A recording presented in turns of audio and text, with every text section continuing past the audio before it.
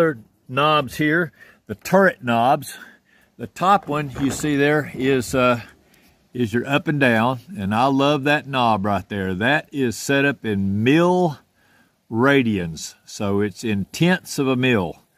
0.1 millirad, millirad radian.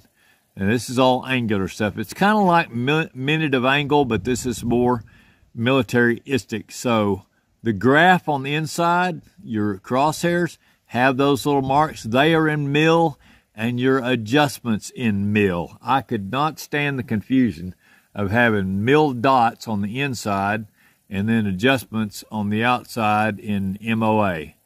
That would be like trying to pour ounces in a measuring cup and you look at it and it's in cc's or milliliters or something. So I just like it mil, mil, mil dots on the inside, mil adjustments on the outside. Keep everything